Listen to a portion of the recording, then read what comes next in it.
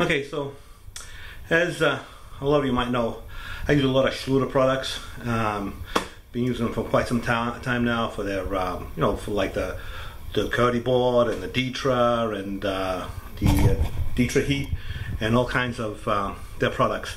But I've always had to use a different manufacturer's thin set. Now, Ditra has always I mean, Schluter has always said that you should use an unmodified thin set to set their tile on top of their products.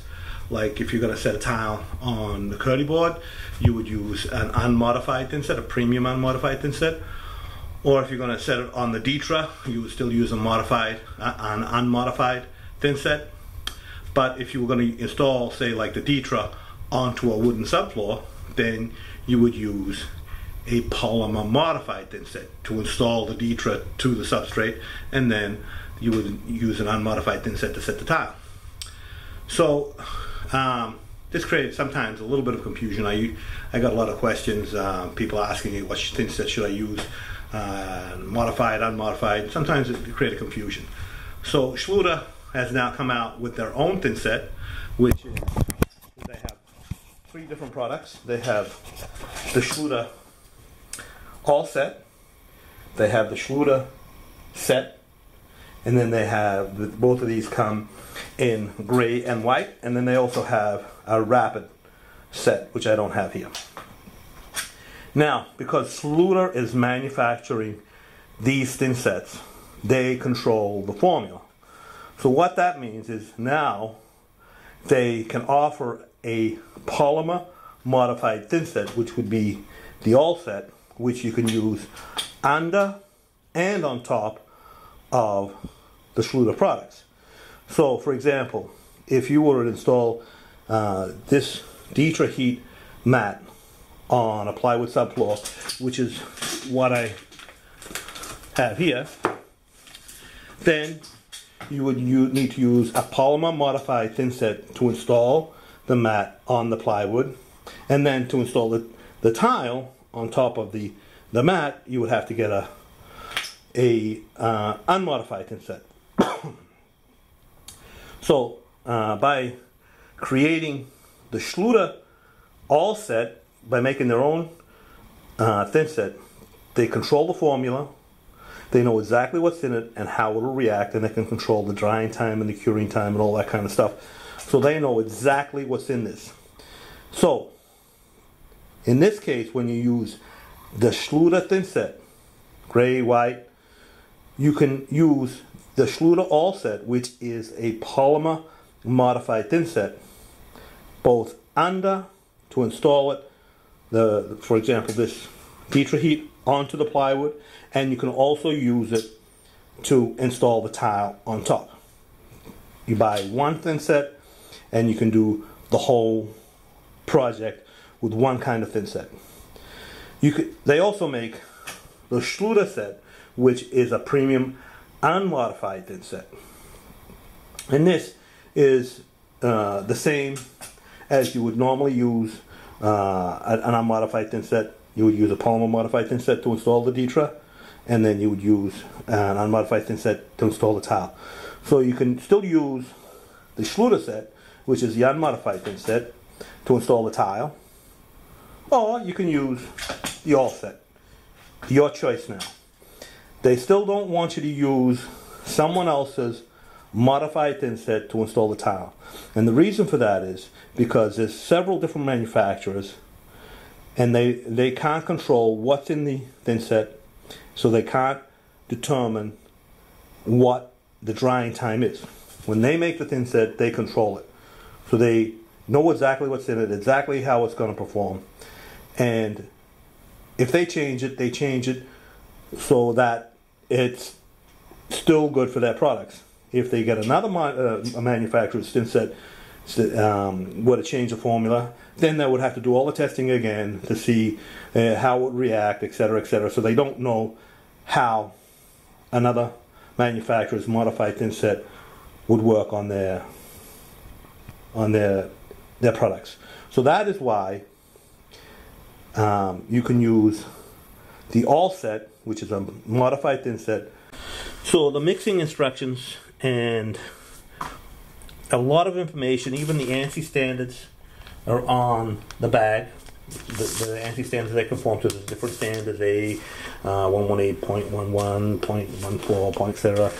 Those just tells what kind of thin set, what, what, um, uh, what they can be used for, and then there's an E classification, a T classification. There's different classifications for the thin set, uh, which describes what the properties are for the, uh, that thin set. But I'm not going to go into that that here. But all the directions on how you mix it. Now this one here actually has a pretty long mixing period. Uh, it tells you how much water. Uh, you add the water and the powder. And then you mix it for five minutes. And then you let it slake for 10 minutes and then you mix it again for another three minutes. And then you can use it. And you want to mix this according to the directions because if, you mix it the way they say to mix it you'll get the properties and the performance that you expect. Uh, a lot of guys will just mix the thin set for, uh, for a minute or so and then start setting the tile you don't want to do that. You want to mix the thin set for the uh, according to the manufacturer's recommendations for the period of time with the correct amount of water. So if you look at the the ratio of water here, it's pretty wide. It's from 5.5 to 6.5 quarts. So if you mix this on the low end of the water, you're going to get a sag resistant thin set, a no sag thin set.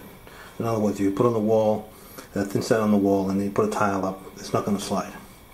If you mix it in the mid-range, so that would be five and five and a half quarts is for the no sag. If you mix it in the mid-range, say like six quarts, you're going to get a good mix for installing your tile on the floor. And you know, creamy and and nice, and that's how I'm going to mix it.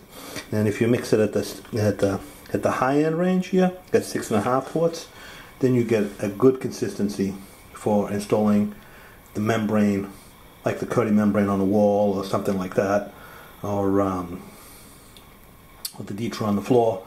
So, so depending on the quantity of water that you mix it with, you're going to get three different kinds of performance. So, like I said, I'm going to mix it in the in the mid range, and we'll see what we get. Okay, so I'm going to put put six quarts of water.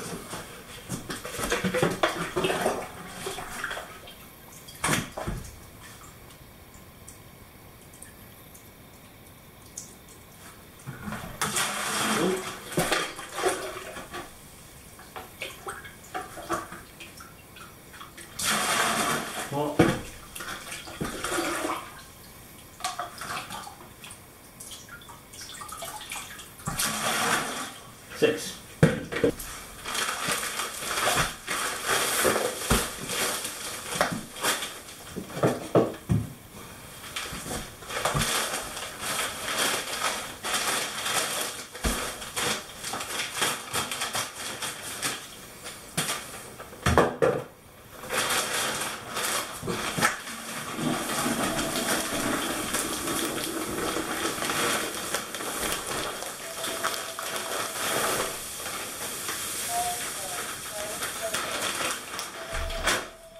you want to use a low speed drill at 600, I mean at 300 RPM. And you want to mix it for five minutes.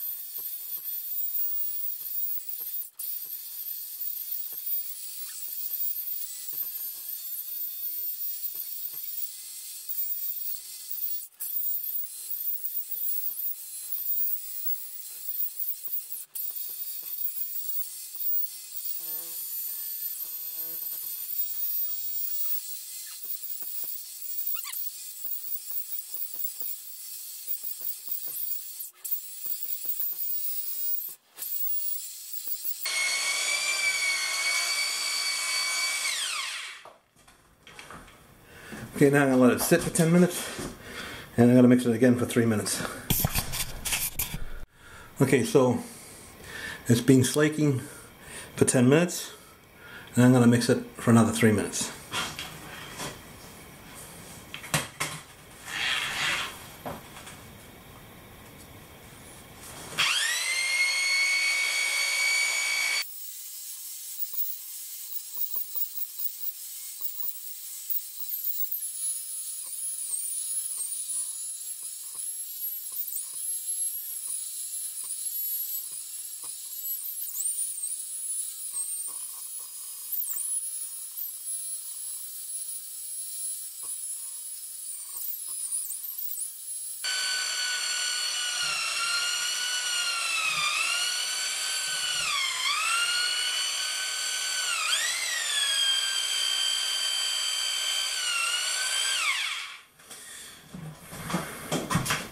Okay, so that's three minutes. And that's so you get nice and creamy. So that's how you mix it Schluter thin set. And also never once you've done initial you started mixing once you've added, added your water and you started mixing you and you never add any more water after the after it's slaked. You never add water again. Otherwise, you ruin the whole thin set. So that's it. So now you know what to use uh, for thin set. If you're using Schluter products, best thing to do is to use their products, their thin set, so you get exactly. Uh, oh, and then if you, oh, one thing I almost forgot, which is very important. If you use that thin set you get a lifetime warranty on the installation. So that's something very important. Um, use Schluter products with Schluter thin set, you get a lifetime warranty. What more can you ask for? So uh, that's good news. No more wondering what you should use. Just use uh, the Schluter thin set with Schluter products, and you'll be all set. So um, that's it. So leave your comments in the comments section below. Uh, don't forget to subscribe. And don't forget to check out my uh, new online store at dibsmart.com. Thanks a lot.